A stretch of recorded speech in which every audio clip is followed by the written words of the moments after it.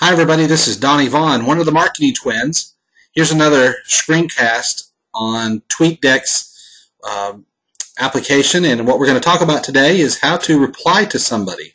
And I know this is pretty basic, but again, if you're new to TweetDeck and you just really don't know how to do it, I'm going to show you. It's really easy to how to do that. So let's say somebody writes something and you want to, you think, well, I really like what they wrote there, and I just want to reply back and tell them, hey, thanks, good job, or something like that. How do I do that? So I'm going to pick on my friend Ryan here.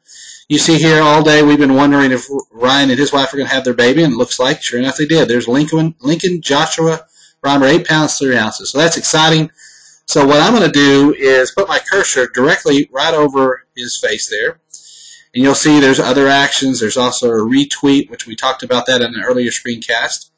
I can send a direct message if I want to, or if I want everybody to see this, I can actually click reply to Ryan. So I'm going to click that, and you'll see up in the top, the status bar, it already puts that in there. And an at symbol basically says I'm sending this directly to Ryan. And that's kind of a, uh, um, a language in Twitter that you have to know is that at symbol means you're basically replying back to that person.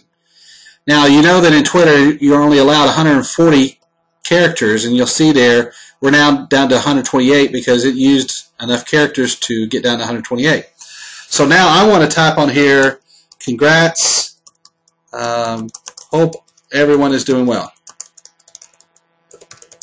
And what this will do is just simply, I'm just going to hit enter and you'll hear the twerp. There's the twerp.